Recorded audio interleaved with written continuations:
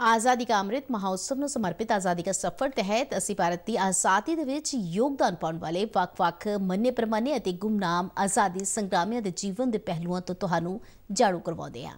ਇਸ ਤੋਂ ਇਲਾਵਾ ਆਜ਼ਾਦੀ ਦੇ ਸੰਘਰਸ਼ ਦੇ ਨਾਲ ਜੁੜੀਆਂ ਹੋਰ ਗਤੀਵਿਧੀਆਂ ਬਾਰੇ ਵੀ ਦੱਸਦੇ ਹਾਂ। ਅੱਜ ਦੇ ਦਿਨ 1897 ਦੇ ਵਿੱਚ ਲੋਕ ਮਾਨਿਆ ਬਾਲ ਗੰਗਾਧਰ ਤਿਲਕ ਦੇ ਦੇਸ਼ਦਰੋਹ ਦੇ ਦੋਸ਼ ਲਗਾਏ ਗਏ ਸਨ। ਅੱਜ ਦੀ ਕੜੀ ਦੇ ਵਿੱਚ ਅਸੀਂ ਤੁਹਾਨੂੰ ਬਾਲ ਗੰਗਾਧਰ ਤਿਲਕ ਤੋਂ ਇਲਾਵਾ ਸਵਾਮੀ ਅਭੇਦਾਨੰਦ ਅਤੇ ਫਿਰੋਜ਼ ਗਾਂਧੀ ਬਾਰੇ ਵੀ ਜਾਣਕਾਰੀ ਦਵਾਂਗੇ। ਪੇਸ਼ ਹੈ ਇੱਕ ਖਾਸ ਰਿਪੋਰਟ।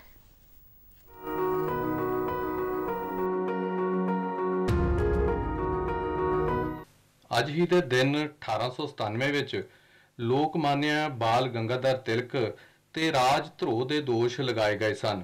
ਦੋਸ਼ ਸੀ ਕਿ ਉਹਨਾਂ ਨੇ ਆਪਣੇ ਮਰਾਠੀ ਅਖਬਾਰ ਕੇਸਰੀ ਵਿੱਚ ਬਰਤਾਨਵੀ ਸ਼ਾਸਨ ਦੀ ਆਲੋਚਨਾ ਕੀਤੀ ਸੀ। ਇਹ ਭਾਰਤ ਦੇ ਸਿਆਸੀ ਇਤਿਹਾਸ ਵਿੱਚ ਮਹੱਤਵਪੂਰਨ ਪਲ ਸੀ, ਕਿਉਂਕਿ ਇਸ ਨੇ ਸਿਆਸੀ ਮੁਕੱਦਮਿਆਂ ਤੇ ਵਿਆਪਕ ਦਾਇਰੇ ਵਿੱਚ ਅਸਹਿਮਤੀ ਨੂੰ ਅਪਰਾਧਿਕ ਰੂਪ ਦੇ ਦਿੱਤਾ ਸੀ। ਤਿਲਕ ਤੇ ਦੋ ਲੇਖ ਪ੍ਰਕਾਸ਼ਿਤ ਕਰਨ ਦੇ ਦੋਸ਼ ਸਨ। ਇਹਨਾਂ ਵਿੱਚ ਇੱਕ ਕਵਿਤਾ ਸੀ, ਸ਼ਿਵਾਜੀ ਦੇ ਕਥਨ। ਇੱਕ ਹੋਰ ਸ਼ਿਵਾਜੀ ਮਹੋਤਸਵ ਦੇ ਬਾਰੇ ਵਿੱਚ ਗੈਰ ਹਸਤਾਖਰੀ ਰਿਪੋਰਟ ਸੀ। ਜਿਸ ਦੇ ਬਾਰੇ ਵਿੱਚ ਤਿਲਕ ਨੇ ਲਿਖਿਆ ਸੀ। ਚਾਪੇਕਰ ਭਰਾਵਾਂ ਨੇ ਦੋ ਅੰਗਰੇਜ਼ੀ ਅਧਿਕਾਰੀਆਂ ਨੂੰ ਗੋਲੀ ਮਾਰ ਦਿੱਤੀ। ਇਹਨਾਂ ਵਿੱਚ ਇੱਕ ਪੂਨਾ ਦੇ ਕਲੈਕਟਰ ਰੈਂਡ ਸਨ, ਜਿਨ੍ਹਾਂ ਨੂੰ ਪਲੇਗ ਨਾਲ ਨਜਿੱਠਣ ਦੇ ਉਪਾਵਾਂ ਦੀ ਜ਼ਿੰਮੇਵਾਰੀ ਸੌਂਪੀ ਗਈ ਸੀ ਅਤੇ ਦੂਜਾ ਨੌਜਵਾਨ ਫੌਜੀ ਅਧਿਕਾਰੀ ਸੀ। ਇਸ ਘਟਨਾ ਨੇ ਯੂਰਪੀ ਲੋਕਾਂ ਵਿੱਚ ਅਤੇ ਭਾਰਤ ਦੀ ਬਰਤਾਨਵੀ ਸਰਕਾਰ ਵਿੱਚ ਡੂੰਘਾ ਰੋਸ ਪੈਦਾ ਕਰ ਦਿੱਤਾ।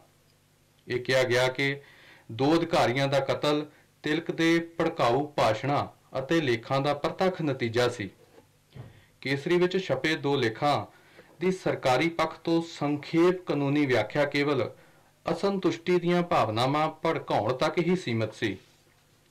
6 ਦਿਨ ਦੀ ਮੁਕੱਦਮੇਬਾਜ਼ੀ ਤੋਂ ਬਾਅਦ ਜੂਰੀ ਨੇ ਤਿਲਕ ਨੂੰ ਦੋਸ਼ੀ ਠਹਿਰਾਇਆ ਅਤੇ ਉਹਨਾਂ ਨੂੰ 18 ਮਹੀਨੇ ਕੈਦ ਦੀ ਸਜ਼ਾ ਸੁਣਾਈ। ਅਜਿਹਾ ਤੀਜੀ ਵਾਰ ਹੋਇਆ ਸੀ ਜਦੋਂ ਤਿਲਕ ਨੂੰ ਅੰਗਰੇਜ਼ਾਂ ਨੇ ਰਾਜ ਧਰੋ ਕਾਨੂੰਨ ਦੇ ਤਹਿਤ ਜੇਲ੍ਹ ਭੇਜਿਆ।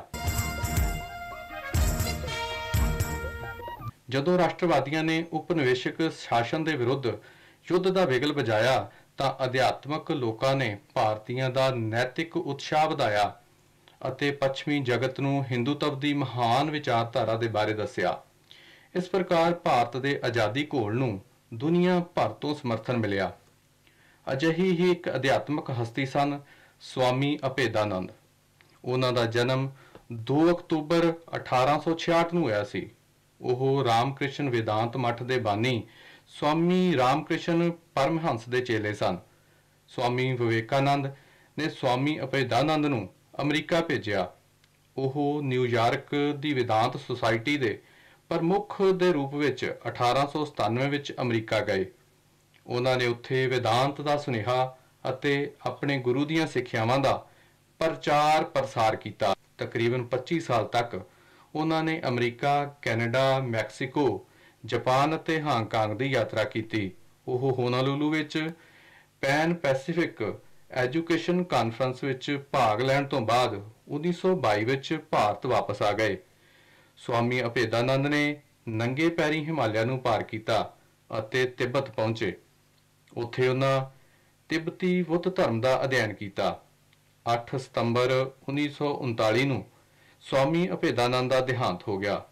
ਪਰ ਉਹਨਾਂ ਦੀਆਂ ਅਧਿਆਤਮਕ ਸਿੱਖਿਆਵਾਂ ਅਧਿਆਤਮ ਦੇ ਰਸਤੇ ਤੇ ਲੋਕਾਂ ਦਾ ਮਾਰਗਦਰਸ਼ਨ ਕਰਦੀਆਂ ਰਹੀਆਂ। ਅੱਜ ਫਿਰੋਜ਼ ਗਾਂਧੀ ਦੀ ਵੀ ਵਰਸੀ ਏ, ਜੋ ਆਜ਼ਾਦੀ ਘੁਲਾਟੀਏ, ਪੱਤਰਕਾਰ ਅਤੇ ਸੰਸਦ ਵੀ ਸਨ। ਉਹਨਾਂ ਦਾ ਜਨਮ 12 ਸਤੰਬਰ 1912 ਨੂੰ ਪਾਰਸੀ ਪਰਿਵਾਰ ਵਿੱਚ ਹੋਇਆ ਸੀ। ਉਹਨਾਂ ਨੇ ਭਾਰਤ ਦੇ ਆਜ਼ਾਦੀ ਸੰਘਰਸ਼ ਵਿੱਚ ਸ਼ਾਮਲ ਹੋਣ ਲਈ ਪੜ੍ਹਾਈ ਛੱਡ ਦਿੱਤੀ। ਉਹਨਾਂ ਨੂੰ ਲਾਲ ਬਹਾਦਰ ਸ਼ਾਸਤਰੀ ਦੇ ਨਾਲ 1930 ਵਿੱਚ ਜੇਲ੍ਹ ਭੇਜਿਆ ਗਿਆ। ਉਹ 19 ਮਹੀਨੇ ਫੈਜ਼ਾਬਾਦ ਜੇਲ੍ਹ ਵਿੱਚ ਕੈਦ ਰਹੇ। ਰਿਹਾਈ ਤੋਂ ਬਾਅਦ ਜਲਦੀ ਹੀ ਉਹਨਾਂ ਨੂੰ 1932 ਵਿੱਚ ਅਤੇ ਫਿਰ 1933 ਵਿੱਚ ਜੇਲ੍ਹ ਭੇਜਿਆ ਗਿਆ। ਫਿਰੋਜ਼ ਗਾਂਧੀ ਨੇ 1942 ਵਿੱਚ ਇੰਦਰਾ ਗਾਂਧੀ ਨਾਲ ਵਿਆਹ ਕੀਤਾ। ਉਹਨਾਂ ਦੇ ਵਿਆਹ ਨੂੰ ਅਜੇ 6 ਮਹੀਨੇ ਵੀ ਨਹੀਂ ਸਨ ਹੋਏ ਕਿ ਭਾਰਤ ਛੱਡੋ ਅੰਦੋਲਨ ਦੇ ਦੌਰਾਨ ਦੋਨਾਂ ਨੂੰ ਅਗਸਤ 1942 ਵਿੱਚ ਗ੍ਰਿਫਤਾਰ ਕਰ ਲਿਆ ਗਿਆ। ਸੰਸਦੀ ਕਾਰਵਾਈ ਬਾਰੇ ਰਿਪੋਰਟ ਕਰਨ ਦੀ ਪਹਿਲਾਂ ਆਗਿਆ ਤਾਂ ਸੀ, ਪਰ ਅਜਿਹੀ ਕਾਰਵਾਈ ਨੂੰ ਪ੍ਰਕਾਸ਼ਿਤ ਨਹੀਂ ਕੀਤਾ ਜਾ ਸਕਦਾ ਸੀ। 1956 ਵਿੱਚ ਫਿਰੋਜ਼ ਦੇ ਪ੍ਰਾਈਵੇਟ ਮੈਂਬਰ ਬਿੱਲ ਦੇ ਕਾਰਨ ਹੀ ਮੀਡੀਆ ਦੇ ਲਈ ਸੰਸਦ ਦੀ ਕਾਰਵਾਈ ਨੂੰ ਰਿਪੋਰਟ ਕਰਨਾ ਸੰਭਵ ਹੋ ਸਕਿਆ। 1960 ਵਿੱਚ ਦਿੱਲੀ ਵਿੱਚ ਫਿਰੋਜ਼ ਦਾ ਦੇਹਾਂਤ ਹੋ ਗਿਆ।